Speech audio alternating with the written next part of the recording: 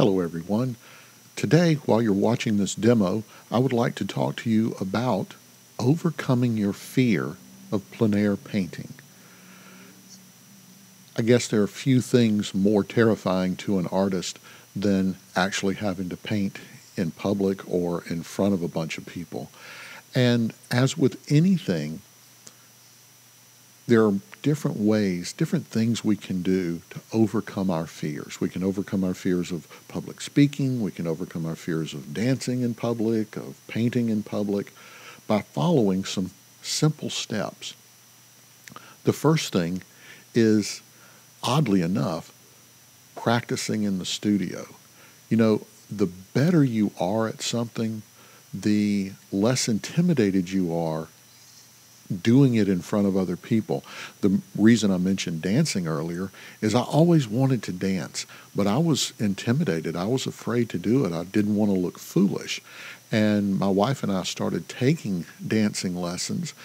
And as we got better at it, it, um, it just became something you almost do by rote. Now we actually teach ballroom dancing once a week. And it's funny, I'll get up and be instructing people how to dance, and I'm talking, and we're actually doing the moves at the exact same time. And it's because I'm so confident with what I'm doing that I'm just not intimidated. I'm not, and if I make a mistake, I don't care. Um, I can admit, well, oops, I made a mistake. And that's what you want to do with painting as well. When if you practice in your studio and you get reasonably good at what you're doing, then you know that you're going to be able to pull this painting off. Even if you're starting to have a little bit of trouble, you know that, hey, I've done good paintings in the past, I'll do good paintings in the future, I can fix this one. The second thing that you want to do is pick a place where you feel confident. Uh, when you first start going out painting in public, it can be very overwhelming. There are lots of people that can be around to disturb you, bump into your easel, strike up conversations, uh, get in your way, right where, you know, it's just, it seems to be a law in the universe that if you're looking at something, there may not be anybody else around, and then all of a sudden, the one person who walks into the scene, they're going to walk right in front of where you're painting. It just, again, it seems to be some law of the universe. Well, you have to learn to be able to overcome those things.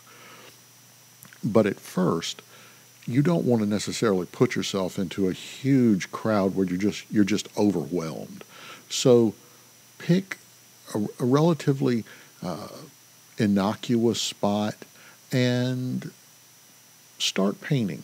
And as you get more confident, as as you it becomes more routine, then you can do what I do now. I mean, I go and find large crowds. They don't bother me in the slightest. As a matter of fact, I enjoy being in the middle of a crowd. It's fun to talk to people. It's fun to interact with them. Well, it wasn't that way for me at the beginning. At the beginning, I was so terrified I actually set up in my backyard and I did several paintings in my backyard before I had the confidence to go paint in my front yard. And I slowly weaned myself away from my house into the rest of the neighborhood. So it took me a little while as well, and it may take you. And that's okay. We want to slowly but surely build our confidence. Another thing is choose your subject matter carefully. When you go out to paint and you're already dealing with high traffic, conversations, who knows what else, bugs, wind, uh, sunlight that gets in your eyes. Okay, so you've already got a lot of challenges. You don't want to add to that by now picking a subject that is incredibly difficult to do. Don't let your first outing into the world of plein air painting by choosing, you know, the interior of the Vanderbilt mansion and now you've got, you know, crystal chandeliers and brocade furniture and tapestries and just all of these these really complex things visually going on. Choose something that you're relatively confident in painting. Uh, if you like painting uh, buildings, so choose a simple building or just a part of a building. If you like painting uh, animals, well, maybe go somewhere where there's some animals, but they're not animals that are moving around very quickly. They're they're slow moving grazing animals or something like that as opposed to monkeys in a cage that are jumping around and swinging from the from branches so yeah just use common sense and and try to pick something that you don't feel intimidated by at all. And lastly and possibly most importantly when you go out to plein air paint smile. Yeah that's right just smile.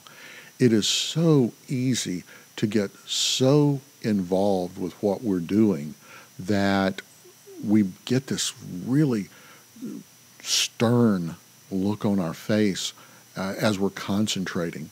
And that's very off putting to people around you. And it also it affects your disposition.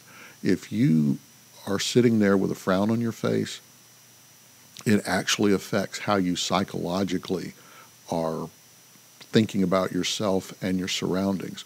But if you're sitting there with a smile on your face, it brightens up your your disposition, your attitude, and it just it makes you more open to other people who are around you. And, and remember, you're out in public. And if you're out in public, then you have to interact with people. That's just the nature of it. I honestly have never, never, in all the years that I've plein air painted, I've never had anyone come up and really be ugly to me. People are usually very complimentary, and sometimes you kind of wonder what painting are you looking at because you're you're sitting there and feeling like, oh my gosh, this is a mess, and they're going, oh my, that's so beautiful. I just I just wish I had your talent. Well, I think half the time they're being just kind, and maybe the other half they're just not that terribly discerning. Either way, it feels good to you that someone is complimenting you. But just keep in mind that the average person on the street, they're impressed that you're out there doing anything. So if you can, and, and obviously they can't paint, they're mystified by the entire process. So the fact that you can do anything is light years ahead of their experience. And keep this in mind as well. In your world, you may watch people paint all the time. The average person never sees someone painting, they just don't. And so you are an object of intense fascination for them. And they're intrigued. And the more outgoing and open you are, the more inviting it is for people to come up to you. And uh, frankly, I mean, this is how you can sell your work. This is how you can get commissions to do things, is to be out and be seen. All right, so we'll wrap this up and we'll go back over those five points again very quickly. First thing we want to do is practice in the studio. Let's get comfortable with the basics before we challenge ourselves with painting in the outdoors. The second thing is to choose a, a, low traffic area. Choose a place where you're not going to be overwhelmed with all the distractions of the world. Thirdly, you want to travel light, not carry a whole lot of extra equipment around that's going to just weigh you down and get in the way. Number four, we want to pick an easy subject, something that we're confident that we can do a good job on. And then lastly, we want to smile. We want to approach the world around us with a, an open, confident, friendly manner because that's the energy that people are going to give us back. If you've enjoyed this episode of The ArtThropologist, please hit the like button. And if you'd like to see more episodes like this, think about subscribing. I'm Bill Wilson, and I'm The ArtThropologist.